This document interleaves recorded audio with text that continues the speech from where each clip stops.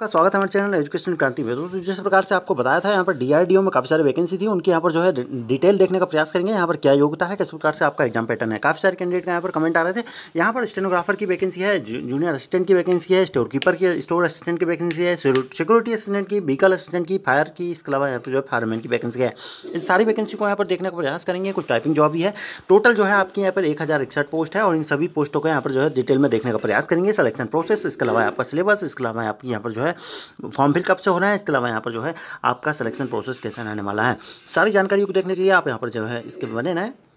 दोस्तों आप यहाँ पर फॉर्म फिल होना जो शुरू होंगे वो दोस्तों सात नवंबर से होंगे और यहाँ पर जो है सात दिसंबर तक आपके यहाँ पर फॉर्म फिल होंगे इसको एग्ज़ाम की डेट दोस्तों यहाँ पर जो है अनाउंस कराई करी जाएगी बाद में तो जूनियर हिंदी ऑफिसर के लिए तो जूनियर हिंदी के लिए आपके पास मास्टर में यहाँ पर हिंदी होना चाहिए साथ साथ बैचलर में भी यहाँ पर हिंदी सब्जेक्ट आपका एज अ मेन सब्जेक्ट यहाँ पर होना चाहिए इस प्रकार से यहाँ पर मांगा जाता है और दोस्तों यहाँ पर जो है इसमें एज लिमिट तीस साल रखी गई है और दोस्तों ग्रुप बी की यहाँ पर जॉब है इसके अलावा स्टेनोग्राफर यहाँ पर जो है इंग्लिश टाइपिंग के लिए देख लेते हैं इंग्लिश वाले कैंडिडेट के लिए बैचलर डिग्री मांगी गई है आपको डिक्टेशन करनी होगी दस मिनट में सौ बार की स्पीड से साथ साथ चालीस मिनट में यहाँ पर ट्रांसक्रिप्ट करना होगा इंग्लिश में इसमें भी तीस साल एज रखी गई है ग्रुप बी की यहाँ पर पोस्ट है इसके अलावा यहाँ पर आप सैलरी देख सकते हैं इन दोनों पोस्टों के लिए पैंतीस हज़ार लगभग रखी गई है इसके अलावा यहाँ पर देखेंगे, अगली post stenographer great grade second जो कि इंग्लिश के लिए है, इसमें बार भी मांगा गया है। इसके साथ साथ यहाँ पर स्किल टेस्ट भी आपका यहाँ पर दस मिनट में यहाँ पर अस्सी वर्ड पर मिनट की स्पीड से और पचास मिनट में यहाँ पर ट्रांसक्रिप्ट होना होगा। और दोस्तों, यहाँ पर सत्ताईस साल तक एज रखी गई इस बात का ज़रूर ध्यान रखें। इस ग्रुप सी की पोस्ट है।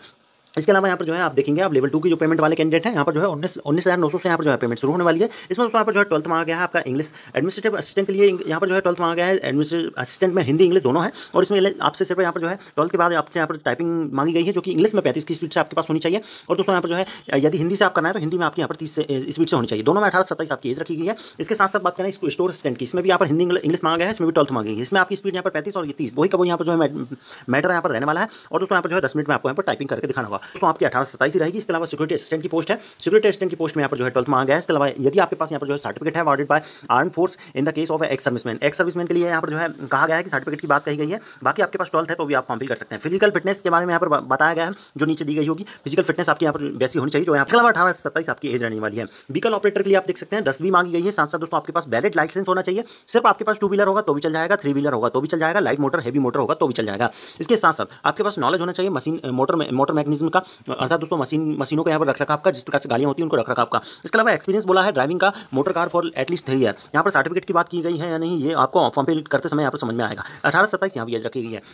फायर इंजीनियर ड्राइवर की पोस्ट है, इसमें टेंथ मांगा गया है। इसके, इसमें भी दोस्तों यहाँ पर जो है टू से थ्री ईयर थ्री व्हीलर वही लाइसेंस आपका मांगा गया है। इसके अलावा यहाँ पर जो है नॉलेज मांगा गया है ट्रैफ़िक रेगुलेशन का। साथ साथ दोस्तों आपके पास यहाँ पर जो है जो फ़िज़िकल फिटनेस होती है, वो यहाँ पर मांगी गई है। इसके अलावा फायरमैन की बात करें तो यहाँ पर जो है टेंथ मांगा गया है। साथ साथ ट्वेल्थ है तो भी आप चल जाएगा। इसके अलावा फ़िज़िकल फिटनेस की बात की गई है और अठारह सत्ताईस यहाँ पर भी एज रहने वाली है। इसके साथ साथ दोस्तों आपकी वैकेंसियों की बात करें तो वैकेंसी आपकी टोटल वैकेंसी हम यहाँ पर बताते चलेंगे। आपको जो जूनियर ऑफ़िस की तैतीस पोस्ट है, दो सौ पंद्रह यहाँ पर स्टेनोग्राफर वन की है। स्टेनोग्राफर टू की एक सौ तेईस पोस्ट है। दो सौ पचास पोस्ट यहाँ पर जो है असिस्टेंट की है एडमिनिस्ट्रेटिव असिस्टेंट इंग्लिश की है। हिंदी के लिए यहाँ पर कम रखी गई इसी प्रकार से इंग्लिश की यहाँ पर स्टोर में ज़्यादा है, हिंदी में कम है। इसके साथ साथ बात करें आपकी यहाँ पर जो है स्टोर असिस्टेंट के बाद सिक्योरिटी असिस्टेंट सिक्योरिटी असिस्टेंट में सात, यहाँ पर इकतालीस पोस्ट है, इसके बाद यहाँ पर एक सौ पैंतालीस पोस्ट रखी गई है और व्हीकल ऑपरेटर में, और अठारह अठारह अठारह यहाँ पर छियासी पोस्ट यहाँ पर फायरमैन में रखी गई है, और साथ साथ जो है फायर इंजन ड्राइवर में। टोटल दस हज़ार, एक हज़ार इकसठ पोस्ट है, और दोस्तों एज लिमिट में जो एलिजिबिलिटी है, आपको तीन साल की ओबीसी को, पाँच साल की यहाँ पर जो है एस टी को साथ साथ बिडो महिला है, उनको भी इस प्रकार से यहाँ पर पी डी कैंडिडेट को पाँच साल का जिस प्रकार से मिलता है, दस साल का, वो सारे सारे यहाँ पर जो है मिल जाने वाली है।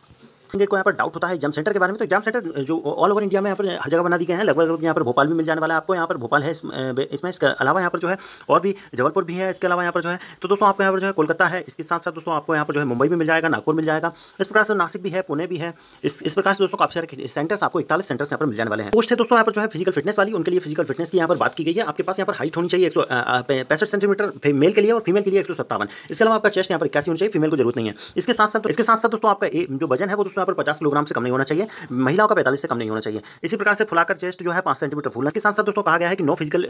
आपको किसी प्रकार की फिजिकली दिक्कत नहीं होनी चाहिए, अर्थात नौकरी जिस प्रकार से आप, जो घुटने हैं, वो यहाँ पर मुड़ने नीचे टच टच नहीं होना चाहिए, या यहाँ पर जो है इस प्रकार से आपके पैर नहीं होने चाहिए। इसके साथ साथ दोस्तों यहाँ पर बात करें आपके मैक्सिमम रिलैक्सेशन जो है टू सेंटीमीटर हाइट हाइट में जो है हाइट और चेस्ट में यहाँ पर जो है कहा गया है। इसके साथ साथ दोस्तों यहाँ पर जो है वर्जन आपका जो मेडिकल स्टैंडर्ड होता है आई का, उसके बारे में यहाँ पर बात की गई है, आपके पास सही सिक्स बाई सिक्स की आई होनी चाहिए। इसके बाद बात करिए फ़िज़िकल टेस्ट की। फ़िज़िकल टेस्ट में जो होने वाला है दोस्तों फ़िज़िकल टेस्ट आपका यहाँ की रनिंग होगी, यहाँ पर जो है, सात मिनट में आपका सोलह सौ, इसके साथ साथ दोस्तों आपके वेट लेकर आपको यहाँ पर जो है एक तिरासी मीटर से यहाँ पर चलना होगा,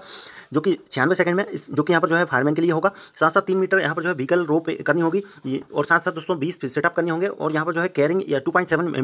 bed inches landing both feet, यहाँ पर जो है लॉन्ग जंप लॉन्ग जंप करनी होगी। तीन चार आपको लॉन्ग जंप मिलेंगे। इसी प्रकार से फीमेल के लिए रखा गया है, आठ मीटर की रहेगी आपकी दौड़, आपको वज़न लेकर यहाँ पर चलना होगा, इसके साथ साथ आपको रोप रोप क्लाइंबिंग चढ़ना होगा इसके अलावा यहाँ पर जो है पंद्रह सेटअप कहे गए हैं, और दोस्तों यहाँ पर जो है लॉन्ग जंप की बात की गई है। इसके अलावा अदर रिलैक्सेशन कहा गया है, दस परसेंट रिलैक्सेशन जो कि परफॉर्मेंस के हिसाब से आपको यहाँ पर दे दिया जाएगा, यदि आप चालीस साल के ऊपर है। इसके साथ साथ सिलेक्शन प्रोसेस की बात करें तो सिलेक्शन प्रोसेस में दोस्तों सबसे पहले आपका यहाँ पर जो है सीबीटी होगा सीबीटी एग्ज़ाम होगा दोस्तों। सीबीटी एग्ज़ाम के बाद आपका यहाँ पर स्किल टेस्ट फ़िज़िकल टेस्ट यहाँ पर जो है फिटनेस टेस्ट जो भी है, वो यहाँ पर कराया जाने वाला है। पर सीबीटी के बारे में सीबीटी का जो एग्ज़ाम है दोस्तों, वो आपका किस किस कोड के लिए रहने वाला है तो दोस्तों आपका जो ज़ीरो थ्री वन ज़ीरो ये जो कोड है दोस्तों, यहाँ पर ये जो कोड है, इसके लिए आपका डिस्क्रिप्शन होगी सेकंड पेपर में। बाकी फ़र्स्ट पेपर आपका चालीस में हिंदी और चालीस इंग्लिश यहाँ पर रहने वाली है। साथ ही साथ दोस्तों जो बाकी जो बाकी पोस्ट है, जो जो बाकी पोस्ट है, उसके लिए दोस्तों यहाँ पर आप देख पाएँगे, यहाँ पर आपका जो बाकी पोस्ट है उसका यहाँ पर पचहत्तर नंबर का यहाँ पर क्वेश्चन पेपर होगा जिसमें कि मैथ्स रीजनिंग इसके अलावा जनरल अवेयरनेस और जनरल इंग्लिश यहाँ पर पचहत्तर नंबर मैक्सिमम लाने होंगे और दोस्तों जो टाइमिंग होगी वो दोस्तों यहाँ पर जो है साठ एक घंटे की रहने वाली है इस प्रकार से आपकी यहाँ पर टाइमिंग रहने वाली है और दोस्तों सेकंड में आपका यहाँ पर फ़िज़िकल टेस्ट होगा फ़िज़िकल टेस्ट के बारे में आपको जानकारी यहाँ पर दे ही रहे हैं जो कि यहाँ पर क्वालिफाइंग नेचर के होने वाले हैं